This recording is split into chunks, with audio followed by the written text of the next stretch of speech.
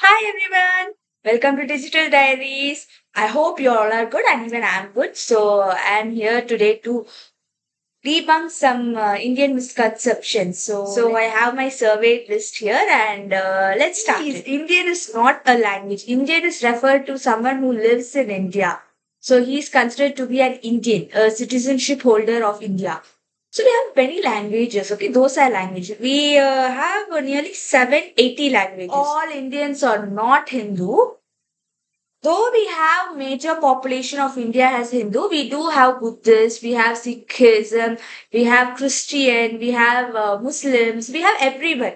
Basically, we are a secular nation. India is a developing country, okay? So, we have developed so much that uh, this year we have uh, G20 with us. And see, Bollywood is just Mumbai based uh, film industry. So, it's uh, like Bombay plus Hollywood, that is mixing of those both. And Bollywood, I know it's very famous that you all thing we only watch this uh, Bollywood movies. No, we have uh, other language movies also. We have like Bengali movies, Gujarati movies, Rajasthani movies, uh, Marathi movies, Tamil movies, Telugu movies, Kannada movies. We have Hindi movies that is Bollywood, okay? But not all this come under this. Hindi is the mother tongue of all Indians. Please note this thing.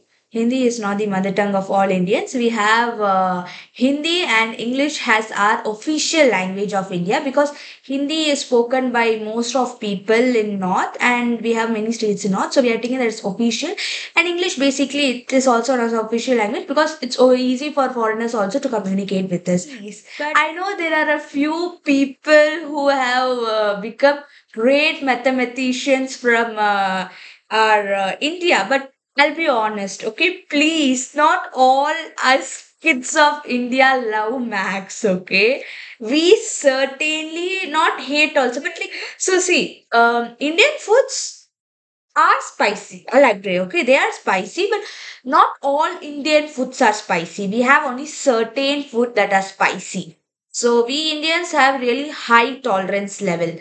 At certain cases, a few people are seem to have uh, uh, uh, preferably less tolerance level, but don't uh, you can't take so much. Okay, so we and Koreans, as much I have observed, I have eaten Korean items, spices. Uh, so I feel like our tolerance level are nearly same. So you don't have to take too much into consideration, but that is good, you know, because all uh, see, for example, take pani puri. I'm sure you all know that dish. So pani puri, you know, we have uh, in two. Okay, you have thika pani puri, meetha pani puri, and just normal pani puri also. So it's depending on how you like it. You can order it based on your like. Same way goes for other. If you want it less spicy, you should let them know. They'll do it. It's not compulsory that it is going to be spicy. Please wake up from your dreamland. That was all for today, and I hope you enjoyed this video. And uh, let's meet up tomorrow again. And I'm so sorry if I bored you out in this video. I'm not so good in front of camera. This is my first time talking to camera.